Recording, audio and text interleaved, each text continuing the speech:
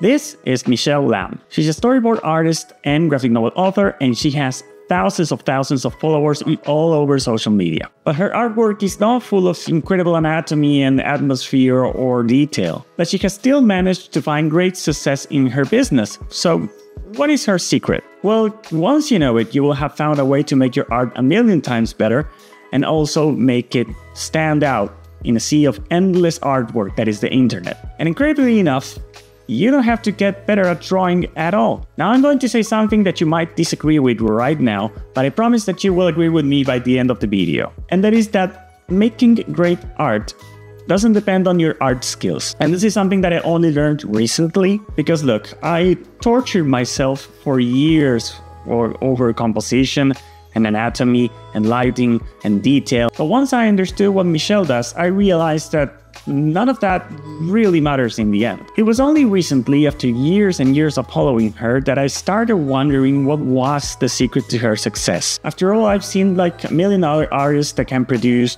a lot more detailed, atmospheric, and full of life images. And I'm also confident that most of them don't even have jobs as interesting as she has. But why do I believe that she has the secret for becoming a great artist? And before you think that this is about social media, let me tell you right now, this is not about social media. Even though what she does might help you become an Instagram sensation as well. See, a problem that we all have is that we want our artwork to look spectacular. Sometimes we want our artwork to feel like it is a fantastic scene in a movie. We believe that our artwork should look like this, and not like this. But this is usually how our work starts. And you might be thinking, but Javi, this is a storyboard image and doesn't matter how it looks because it doesn't go into the end product. And I knew that you were going to say that. It's a trap because while I'll just show you her storyboard work, Michelle is also a comic book writer and illustrator both on social media and in print. And while she can do artwork that has a lot more elaborate rendering, most of her work just looks like this. It is simple,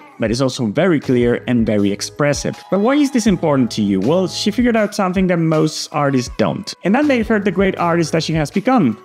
So what is this secret? In one of her YouTube videos on her own YouTube channel, which you should check out, it's pretty great, she makes something called an ikigai. It is a Japanese way for finding your reason for being.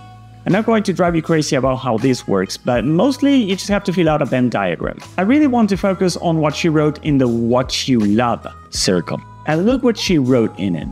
She doesn't write, I love to draw. We all do. She writes, I love making an emotional impact. Telling stories. See, this is a very simple idea, but it's a very strong one. I wanted to find a word for this thing, the thing that makes you want to make art. I came to call it the compeller. And you may be thinking right now, I know what this is, I am compelled to make art. But think about it art is your tool, it is not what makes you make art. You need to ask yourself, what do you want to use this tool for? I don't know, man, I just want to draw. Listen, you're interrupting me a lot today.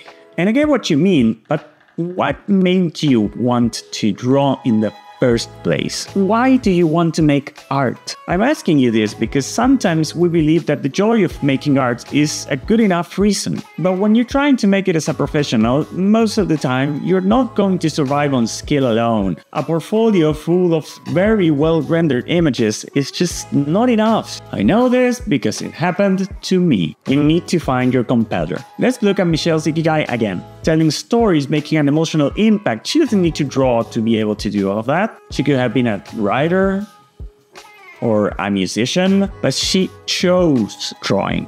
And so did you. I want to help you find your compeller. So we can try a very simple exercise. Write this sentence down and complete it. I am an artist because I want to.